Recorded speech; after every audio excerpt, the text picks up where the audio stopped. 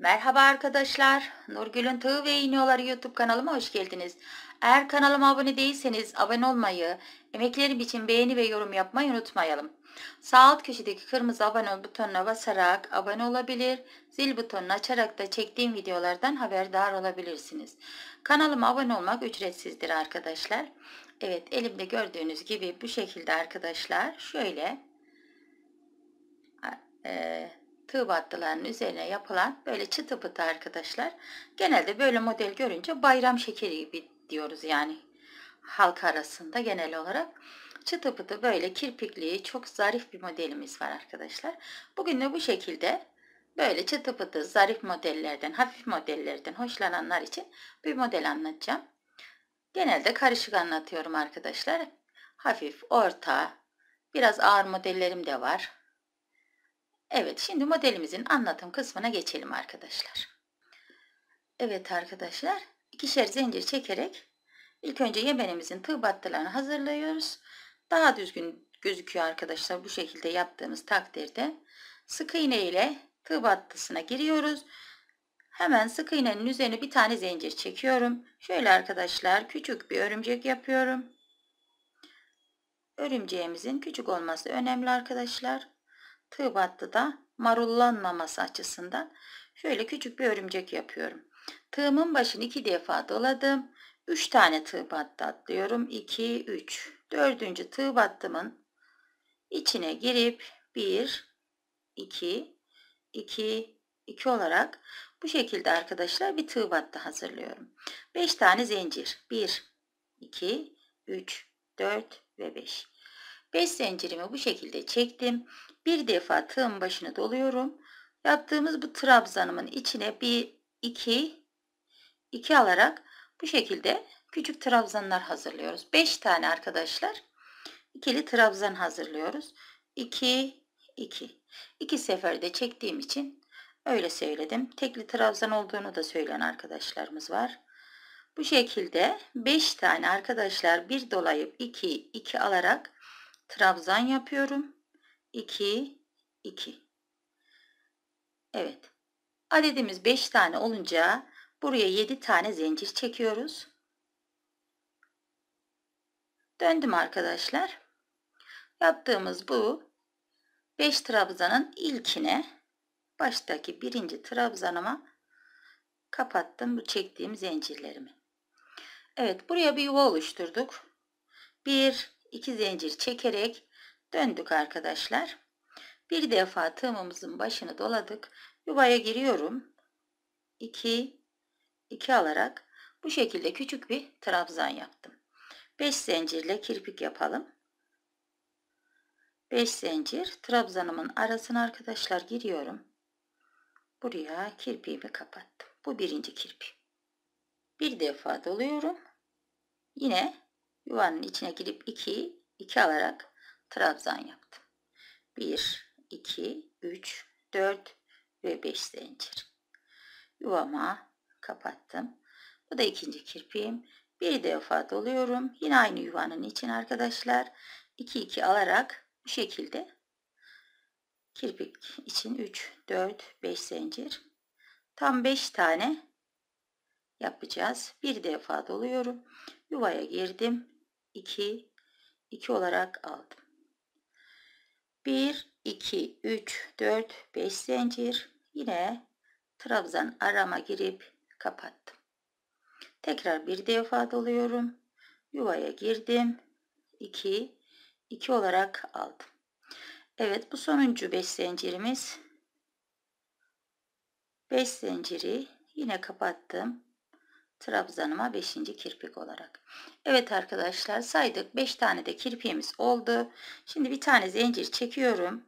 Yine arkadaşlar örümceğimin boyutunu küçük tutmaya çalışıyorum.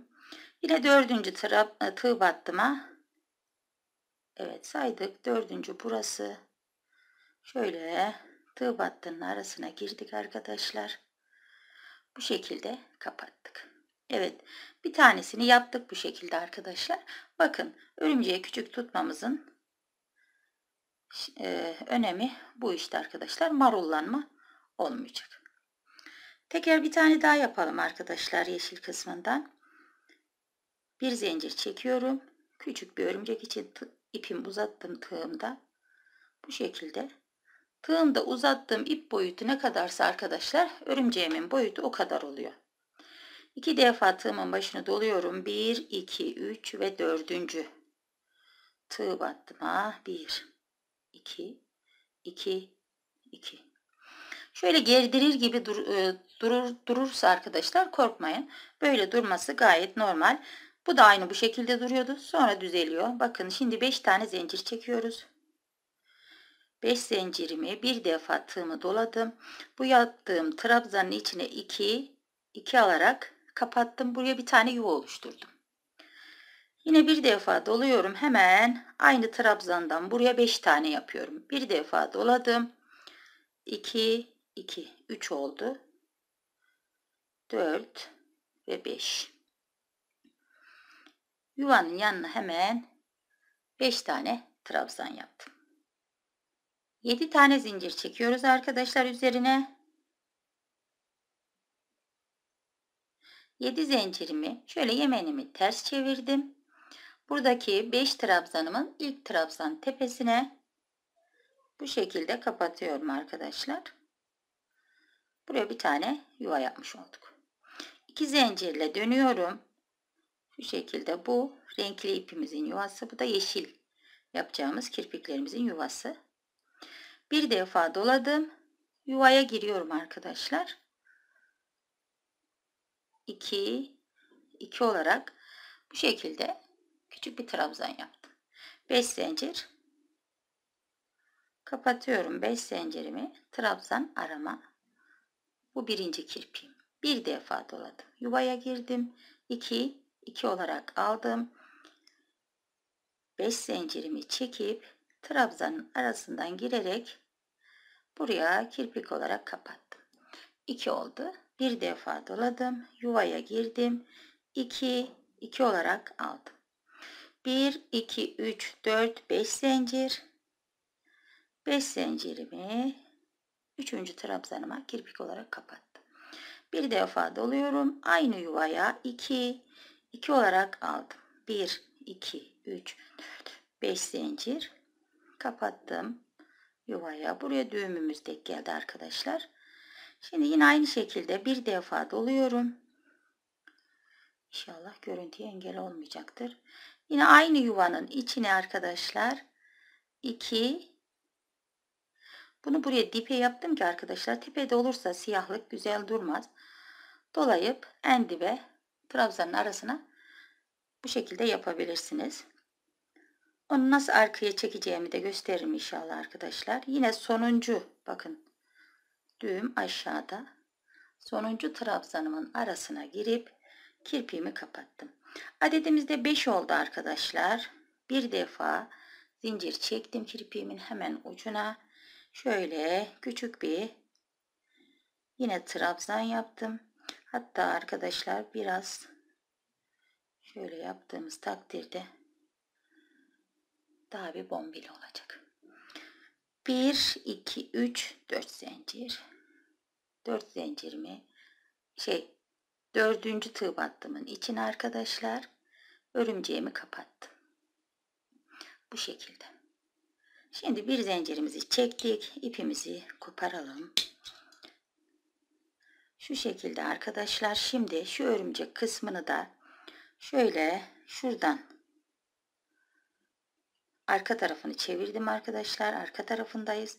Arkadan ilmeğimi aldım. İkisini birden şöyle ipin doladım. Buraya arka tarafını arkadaşlar gözükmemesi için çekelim. Tek katı kaldı heyecandan arkadaşlar herhalde çekemedim. Şu şekilde onu da hemen arkaya çekelim. Bu şekilde arkadaşlar arkaya çektik. Gördüğünüz gibi hiç sanki ip kopuğu yok gibi oldu. Hemen burada bunun ipini Birazcık kısaltıp arkadaşlar yanık izi fazla olmaması için kısaltıyorum. Buraya yaktım inşallah. Evet bu şekilde ip saklama tekniğini de göstermiş oldum inşallah. Şimdi çiçekli kısmının kirpiklerini yapmaya gelelim. Evet arkadaşlar pembe renkle yapacağız. Şimdi modelimizi aldık. Bu yaptığımız 5 zincirli yuvanın içine sık iğne ile bu şekilde kapattım. Bu sık iğnemizin üzerine 5 zincir çekiyorum. 5 tane zincirimi hemen yapmış olduğum bu sık iğnemin üzerine arkadaşlar bu şekilde kapatıyorum. Birinci kirpi. Hemen yanına bir sık iğne daha yapıyorum. Yine 5 zincir. 5 zincirimi yine sık iğnenin üzerine kirpiğimizi yaptıktan sonra bu şekilde arkadaşlar yeşil yuvaya girip bir tane sık iğne yapıyoruz. O sık iğnenin üzerine kapatıyoruz. Bu şekilde ikinci kirpiğim oldu. Yine yeşil yuvanın içine girdim. Sık iğne ile kapattım buraya. Üzerine 5 zincir 5 zincirimi hemen buradaki sık iğnemin üzerine kapattım. Bu da 3. Yeşil yuvaya 4 1 2 3 4 5 zincir. 5 zincirimi buradaki sık iğneme kapatıyorum. Kirpik olarak dördüncü. Tekrar yuvaya bu şekilde sık iğne ile girdim. 1 2 3 4 5 zincir. Buradaki yuvaya girip sık iğne ile kapattım. Sonra yeşil yuvaya girip tekrar bir sık iğne daha yapıyorum. Bir zincir çekip ipimi kopardım. Evet arkadaşlar şimdi ipimi yakayım geleyim. Çok hoş ve çok tatlı durdu. Sık iğnelerin üzerine batıldığı için de arkadaşlar gayet bu şekilde e, görü, e, görüntüsü daha görünür oldu. Evet arkadaşlar şöyle yakın plan şekilde daha önce yaptıklarım pembesini beraber yaptığımız arkadaşlar çok hoş ve çok zarif oldu çıtı pıtı oldu arkadaşlar böyle beyaz üstüne her renk yapabilirsiniz veyahut içinde çiçekleri olan rengi size uygun olan renklerden yapabilirsiniz arkadaşlar çok zarif çıtı pıtı bir modelimiz oldu dediğim gibi çok da hoş durdu kirpikler yani arkadaşlar hani derler ya Türkan Şoray kipriği gibi o şekilde durdu yani göz alıcı oldu Evet yapacak arkadaşlara kolay gelsin. Allah'a emanet olun. Hoşça kalın arkadaşlar.